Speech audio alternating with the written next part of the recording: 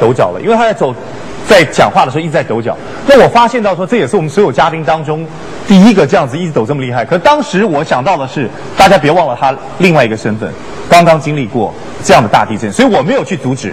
我没有去阻止，是因为我觉得不应该用这样的角度来看他的。我想先听听看你最真实，是你习惯了还是受到影响？我我这里想说一下，刚才这个抖脚的，我觉得不是因为什么恐惧啊什么的，主要主要还是因为当那么多人指责我的时候，我内心内心产生了一种抵抗的情绪带来的激动，这是第一个。第二个，我想陈述一下关于道德绑架。刚才很多人说，哎，如果你的孩子在他的班上，啊，你会赞成吗？我想说的是。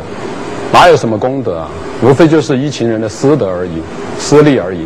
因为他们想，你为我的孩子牺牲了，可是你的母亲、你的兄弟、你的老婆、你的孩子的悲痛和这个我我是不考虑的，因为我的孩子保住了，然后我送你一个烈士的称号。所以我觉得，当社会附加于教师各各种各样的责任，且没有呃他们的权利且没有得到相应的维护，权利义务这个是一个对等的。只要他尽到自己的责任。如尽到了自己的责任，他一个人没有救出来，我们仍然会尊重他。他没有尽到这样的责任，一个人都没有死，我们仍然鄙视他。啊，这里我还还是想反驳一下。我既然要捍卫我所声称的言论自由以及与主流不同的价值，我早就做好了面对千夫指的准备。这一点，我当时逃跑了，我承认我的不够勇敢。在面对。各种指责和道德判断的时候，捍卫这种多元价值的时候，以及申诉自己的观点的时候，我又借用我朋友的一个说法，我是个思想烈士。我我说两句吧。谢谢。你有权捍卫你的价值，但是你也不能阻止别人来对这种价值进行批判。你可以评判，但是你没有对我的人格进行抨击。别人也有言论自由，那我也可以攻击你人格的自由。我想讲，你是个傻瓜，是你自己攻击的，你是一个傻瓜，是你自己扳倒的，你的人格难道是傻瓜？你刚才骂无耻的时候，你更无耻，你更无耻，你刚才骂无耻，两位，一连底线道德的遵守，你连底线道德的遵守，你以为你脑子里，两位，两位，两位，抱歉，你以为你是谁啊？你，两位，两位，客气点，两位，好，谢谢两位，谢谢你，两位，请坐。你刚才指责做了谩骂，两位，两位，两位，两位都是知识分子，两位都知识分子，这不是我们要进行的你给的讲，这刚刚说过了。不需要，不需要有任何情绪戏给互相戴帽子，好不好？谢谢两位，请我听听看老师在座的是老师的，请举手。老师身份的，我听听看。好，请来热烈掌声欢迎。你怎么看待？会觉得是一个道德绑架吗？会有压力这么大吗？我也是一位那个小学老师，嗯，我认为刚才那个范美忠先生，嗯，感觉他挺。太夸张了，我认为，就是说你不就夸张？我感觉他在博客上就说说自己的意见。你即使说不救孩子，那也没没什么，你也没必要上全世界人说啊，我那个我做的就是对的，那给老师一种什么什么印象呀？啊，你老师不救孩子，但是也就说让后人全都向你这样的老师去学习吗？是吗？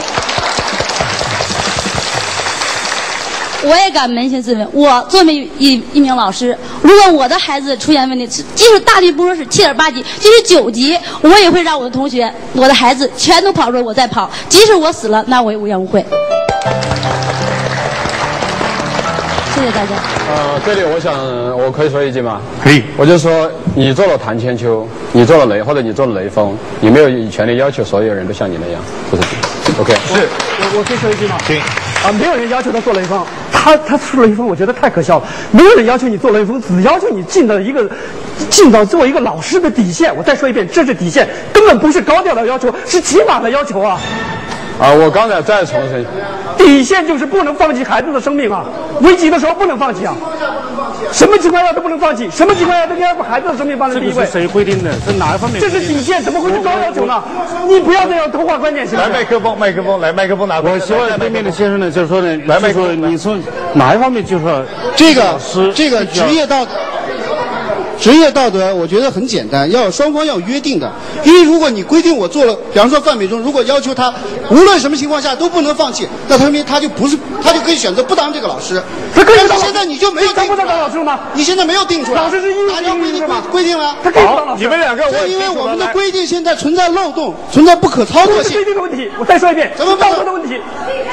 好，你们两位等一下，不可操作性了。你们两个讲的很清楚了。我们让第一次发言的来，第一排这几位女孩子来，麦克风递给他们。好，你请说，你先说。我先来说。好，对不起，对不起，请尊重他们，好不好？来，请。听听场外嘉宾说法，请说。谢谢大家。呃，我其实也是，我对这个呃范先生的观点有些还是比较认同的。就是我们扪心自问，我觉得虽然我我做义工做了五年了，我也愿意对这些孩子，就是我们利用周末的时候、闲暇的时间给孩子进行一些辅导教育。但是觉得在这种突发自然情况面临情就出出现的情况下，我能怎么样？我不知道。我觉得我不能知道，我不能保证说我肯定会救孩子或者怎么怎么样，我就没有资格来要求别人会怎么样。因为那个地震是突发情况是很短促的，只有几秒的时间，有的人跑了救别人，有的人有的人没有救别人，自己先跑了。你觉得应该用宽容的态度来面对？对你很难知道谁谁是对的，谁是错的。我觉得范老师可能就本身就是比较特立独行的一个人，他的教育风格呀、教育方法都是跟别人不一样的，所以这是他敢于在网上登出来，不断跟大家来讨论啊，然后来引起大家讨论这么这么一个这么一个角色。我现在讲点谢谢啊。我现在讲的是，就是说方老师呢，后来就是学生到学生都出来了，方老师呢和夏老师一道有序的组织整个场面，但他没有写，他不愿意去写。那时候已经没有他写了，他并非是个逃兵。那么，对不起了，我们尊重一下哈，听卢老师请说。如果不相信的话，可以现场打电话给他的校长。呃，这位先生，你可能确实你要问问校长是不是？由校长来求证是不是？对，我讲，如果这位先生不相信的话，可以通过。我不是不相信，我重复一遍。来那时候已经没有危险了。他不愿意写那一块他为什么不愿意？你写不写？你们等一下，你们这样子。校长还有什么？还有什么？郭先生、吴先生，你们现在讲的这段是核心所在，因为现在大家因为对范先生他的言论当中已经有情绪反应了。像一个佐证人是校长，休息片刻，我们要听听看校长是怎么说的，还原当时的真相，我想才能够让事实还原，对不对？休息片刻，听听校长怎么说，待会见。他是过后的想法，过后的评论，真的，而且我过后的评论，你认同还是不认同？你认同了，你为什么做出反应？你这样的校长就是事实，我告诉你，有你这样的校长才会有这样的老师。边长黑白的话，实在忍无可忍。谢谢你，校长，谢谢你啊，打扰你了，谢谢，谢谢校长。我们从另一个角度来，因为我想去救学生的义务，我都想跟学生说一声，就是说对不起。为什么？一壶一席谈，争论更加激。欢迎回到我们的现场，我们请出接下来这位嘉宾是国务院关心下一代工作委员会专家委员会的副主任林格主任，欢迎他，欢迎林格，欢迎林格坐到我们的 PK 宝座。呃，接下来我们关心的焦点，除了待会要跟。范老师的校长连线，我们要还原真实的情况之外，接下来我想先特别请教林格一件事情，就是我们很关心一件事情。刚刚大家都想说，到底范老师他这样的教育理念，他这样子在大难来临的时刻，他所做的这些出于他本能上的这些行为，你是怎么看待的？我认为作为范老师这个本人来说，嗯，我认为他是诚实的，嗯，他很诚实，他很诚实，而且很有勇气，嗯。这一点上，我就觉得不应该从人格上，嗯，或是从单纯的道德上，嗯，去这个谩骂，嗯，因为为什么会出现现在出现这个事情以后，全社会都是来一个轰炸，这其实是我们整个社会处于一个不成熟的时期，可以叫青春期时期。但是方老师的这种言论，我是不支持的。言论不支持，对，有两个原因。这个之间的差别在哪里？啊，我有两个原因。第一个原因呢，我认为他对教育的基本价值的认识有偏误。第二个原因，他的这种过于理性和冷血，可能会消解我们本身积极向上的对教育的追求的价值观。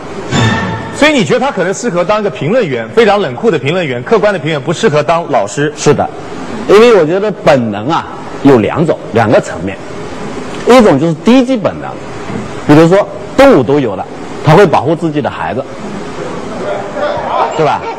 这是低级本能。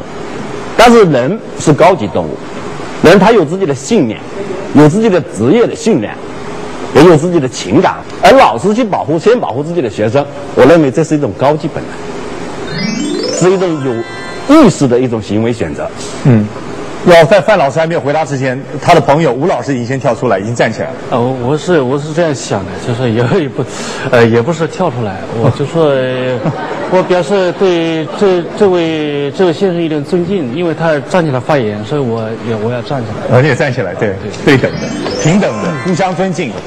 因为这是高级本能，那我也站起来，互相尊敬哈。我是想就是说，高请请。请发表达你的看法。我是想，就是，在这这样一个呃高级本能、低级本能呢，我觉得这个区分呢，